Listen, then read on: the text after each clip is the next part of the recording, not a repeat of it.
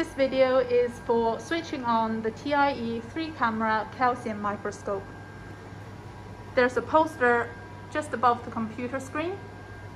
You need to switch the system on according to how you want to use this. So for today, I'm going to switch it on according to column number one.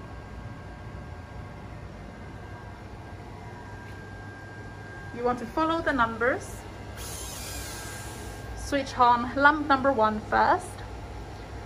Once you switch it on, please do not switch it off for at least 15 minutes. So you want to switch on number one.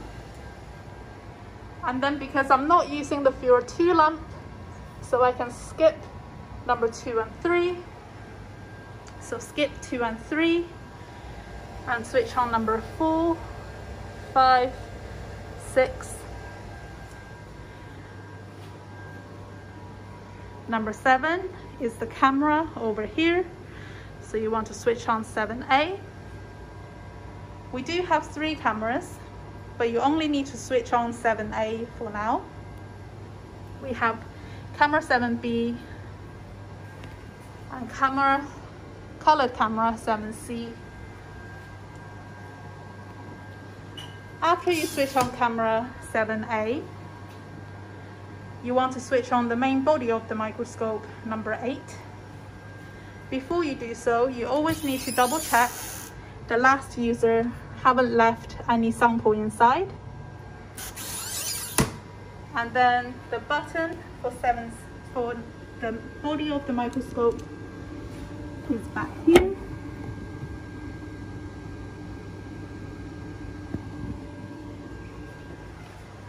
You need to reach in and switch this on. Once it's on, the display should light up. If you are using lamp number one, you need to make sure this little toggle is in this position. Sometimes is flat like this. You need to make sure it's in this position. And then you want to switch on the computer, which is here.